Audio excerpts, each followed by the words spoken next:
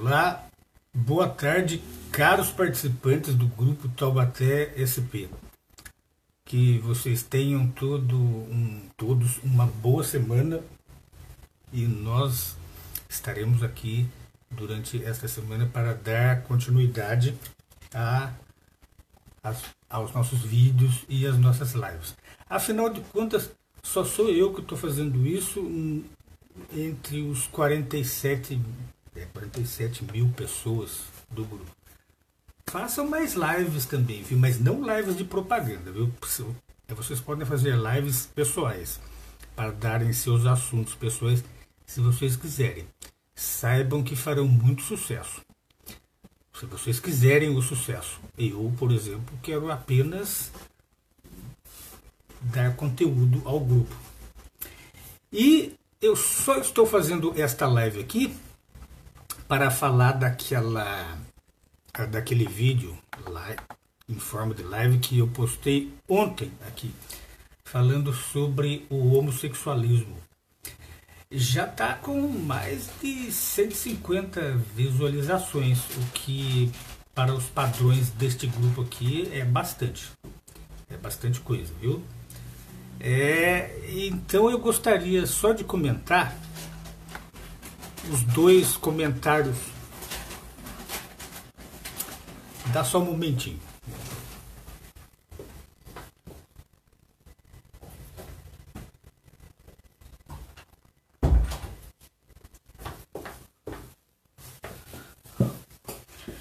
Então, eu gostaria de comentar apenas os dois únicos comentários que eu recebi e que eu respondi ali.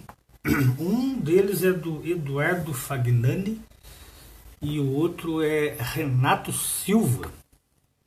Então, o primeiro é do Eduardo Fagnani, que, que e, pelo, e, e pelo visto ele é um biomédico. Então ele escreveu assim: Não tem como abortar o homossexualismo sem falar em genética e no quanto esses genes podem se expressar de maneira, intensidade diferente em cada indivíduo. É, é, é realmente, por exemplo, o, o, o, câncer, ele também é uma, ele é uma doença de, assim, de nível genético. Né? E dependendo da pessoa, o câncer pode se expressar mais agressivamente ou menos agressivamente. Agora, no caso do homossexualismo, isso daí não, ele não faz parte da genética. Não faz, porque senão a pessoa ela nasceria homossexual, né? Mas só que a homossexualidade, o senhor Eduardo Fagnani, biomédico, doutor, o, é como se fosse o, o tabagismo. Imagine o tabagismo. A criança nasce com vontade de fumar? Não nasce. Não, ela vai desenvolver mais tarde. Certo? É diferente do câncer. O câncer, sim, é de ordem genética, então ele pode já se desenvolver ali mesmo, ali no, ali no nascituro, ou, ou mesmo no ventre. É raro, mas, mas ele pode. E também o Gênesis, apesar dos médicos dizerem mundos e fundos sobre ele, ele é pouco conhecido ainda tem muito o que conhecer. Sabe-se, porém, que as pessoas podem trabalhar em seu próprio corpo, né? As pessoas podem condicionar o corpo. Eu pesquisei sobre isso e vi. Por exemplo, a pessoa ela pode querer ser alguma coisa e batalhar como um artista. Ele ele trabalha para ser um personagem. Tanto é que tem artista que depois que termina o personagem, ele faz um trabalho tão bom que ele ainda passa um tempo para se desvencilhar daquele personagem.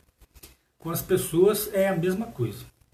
No caso do homossexual, ele pode trabalhar aquilo, né? Às vezes até por vontade própria, ele, ele quer fazer, ele quer se especializar. Então, instintivamente, e às vezes até sem pensar muito, ele está ele está se trabalhando para ser.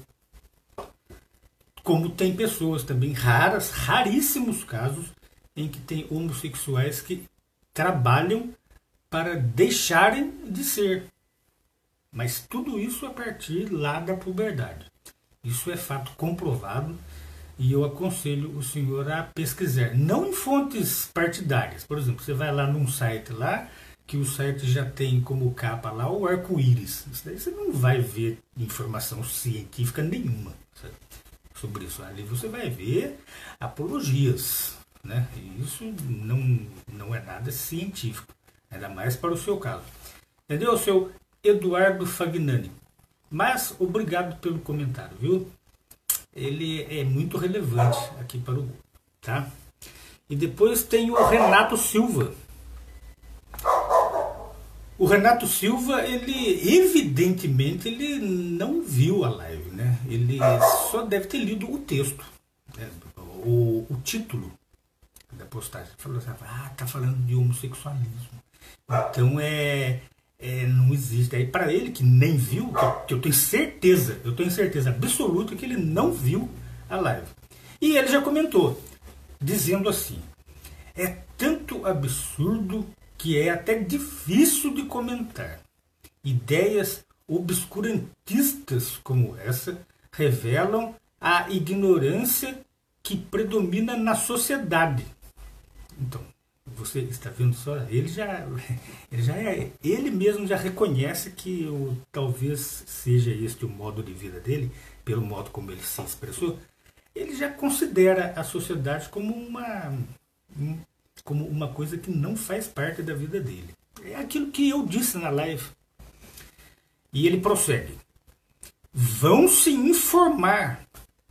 Orientação sexual é genética já viram macacos, leões, cães e outros mamíferos gays? Lésbicas? Não.